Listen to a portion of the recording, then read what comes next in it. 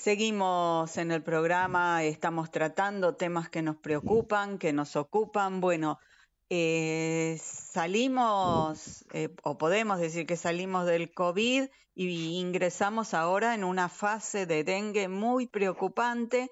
Em, se habla de una nueva epidemia de dengue, ya hubo en el país tres, la última fue en 2020, ahora el mosquito está atacando de nuevo, hay víctimas fatales, hay un serotipo dando vuelta que es bastante preocupante. El número dos, para entender mucho más de esto, está con nosotros un epidemiólogo, el doctor Hugo Pisi. ¿Qué tal, doctor? ¿Cómo le va? Soy Laura Sverdlik, bienvenido al programa. ¿Cómo ¿Qué tal, Laura?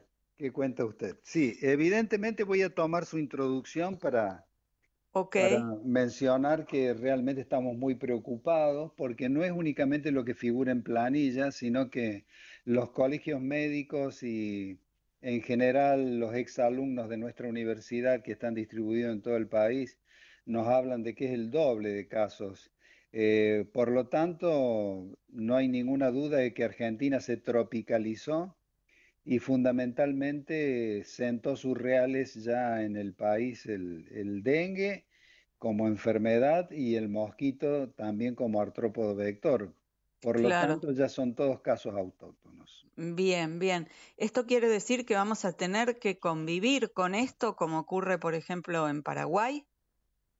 Exactamente, porque está claro que siguiendo siempre la misma metodología que no nos dio resultado, no esperemos que nos dé resultado en el futuro. Hay, hay una cuestión inherente a las autoridades que no anda bien y hay otra cuestión inherente al, individuo, al ciudadano común, que es desaprensivo y fundamentalmente indiferente y, no nos ayuda. Entonces ya tenemos treinta y pico de muertos, tenemos eh, cifras que superan los 60 mil hacia arriba. Eh, está muy complicada la situación. Por eso en el horizonte la gran esperanza es la presencia de, una vacuna que ya está siendo usada en el mundo y que todavía ANMAT la está evaluando acá. Ajá. Eh, ¿y, cuál es la dificultad para que ANMAT la apruebe?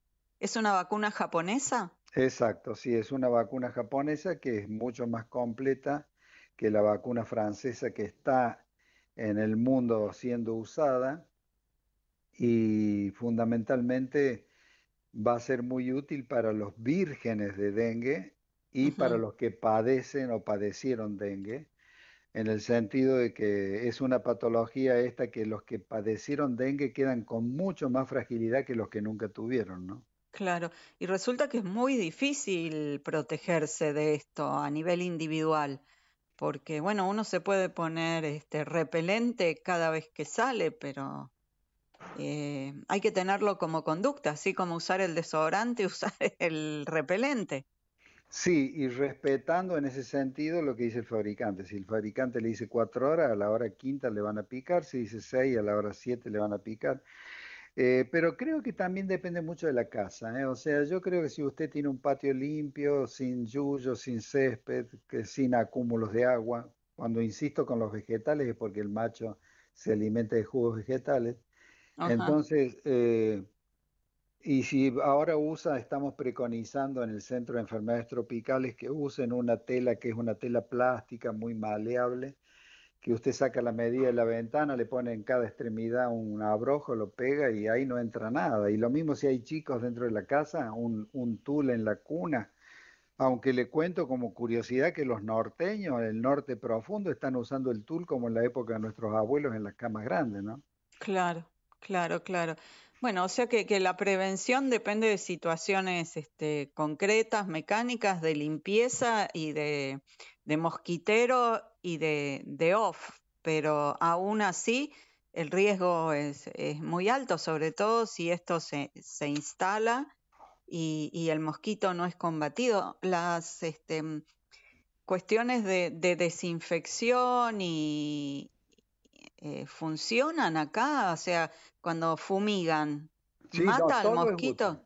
todo es útil. Lo que pasa es que eh, la fumigación es efectiva cuando usted tiene una continuidad en el tiempo. A ver. Claro. Supongamos que la calle tal, usted pasa en la calle tal donde hay muchos arbustos, donde hay muchas plantas y demás. Pasa hoy.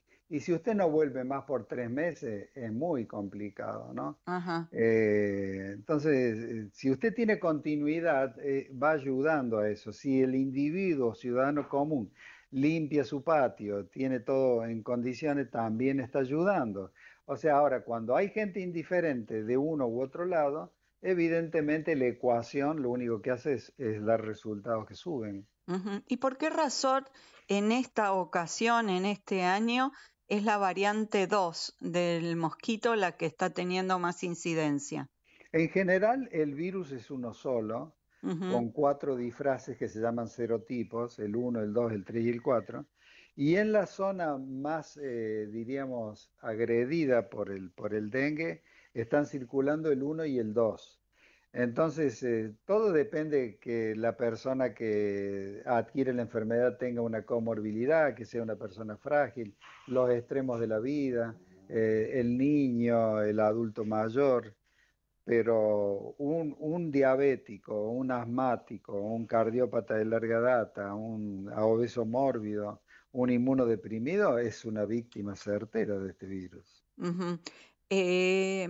¿Cuáles serían los síntomas de alerta respecto de, bueno, ir a consultar y no pensar que, bueno, es una fiebre, se me va a pasar? En general, eh, la fiebre es alta, el dolor de cabeza es muy intenso, dolor detrás de los ojos. Los dolores articulares son muy llamativos. En el Caribe le llaman la quebranta huesos o rompehuesos. Eh, pero usted cuando le suceden cosas como la que yo estoy describiendo, fíjese en su piel. Si usted tiene en su piel picaduras de mosquito y ve que hay en el peridomicilio o en su casa mosquito, o en el lugar del trabajo, o en el lugar donde usted hace gimnasia mosquito, entonces evidentemente son tres elementos que le hacen presumir que es dengue.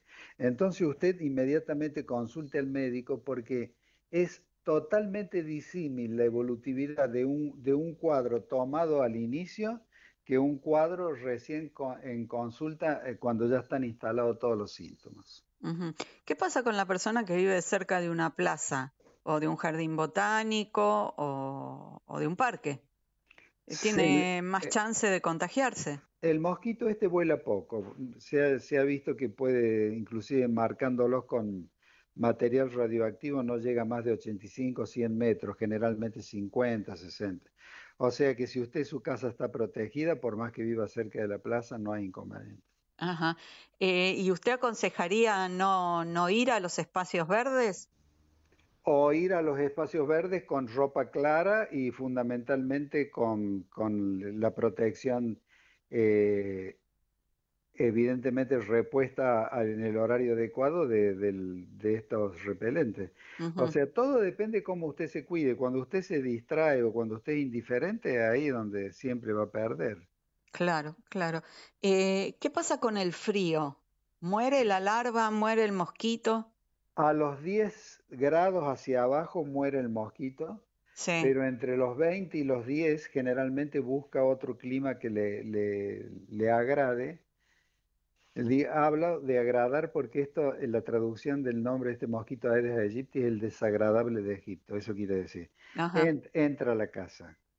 Entonces ahí donde tiene que estar realmente expectante para ver que y poder destruirlo. Eh, o sea que sale de las plazas y de los parques y no sé, de los jardines e ingresa dentro del hogar en esos 80 metros que se puede trasladar.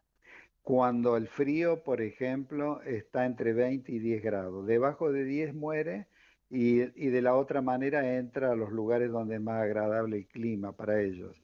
Pero atención con esto, se ha descrito perfectamente y se ha estudiado que la hembra cuando pone los huevos, por más de que baje la temperatura, esos huevos entran en latencia y eclosionan ante el primer golpe de calor y esos huevos tienen el mosquito contaminado. O sea que el mosquito que nace ya está con el virus. Bien, bien. Bueno, entonces no queda más que ejercer una protección activa y, ante estos primeros síntomas, que es fiebre alta, dolor de cabeza, dolor articular o dolor detrás de los ojos y, en coincidencia con alguna picadura, ir volando a hacerse ver. Absolutamente. Hay veces que presenta eh, diarrea, hay veces que presenta vómitos, hay cuadros que son mucho más graves que otros, pero en general uno se da cuenta. Y nunca tomar ni aspirina ni antiinflamatorio porque exacerban esa propensión que tiene esta enfermedad hacia la hemorragia. O sea, siempre consultar al médico. O sea que si a uno le duele mucho la cabeza, no se toma una aspirina. ¿Un paracetamol sí? Sí, exacto. paracetamol sí. Eh, hubo un caso que estuvo circulando en los medios de una persona joven, un juez, creo que era de Catamarca, que falleció en tres días. Claro, porque hacen un colapso. O sea, nosotros tenemos muchos casos de esos también. Una mujer que eh, del grupo suyo, periodista, esposa de un periodista de Canal 10, eh, también hizo lo mismo en el día quinto, hizo un colapso y también murió. O sea, el, cuando baja la fiebre, o sea, no quiere decir de que terminó el problema, puede ir para cualquier lado la enfermedad. Por eso acá lo importante es consultar. Bien, muchísimas gracias, doctor Hugo Pisi. Ha sido usted muy gentil por atendernos y, bueno, ojalá venga el frío pronto, por lo menos para estar un poco más tranquilos.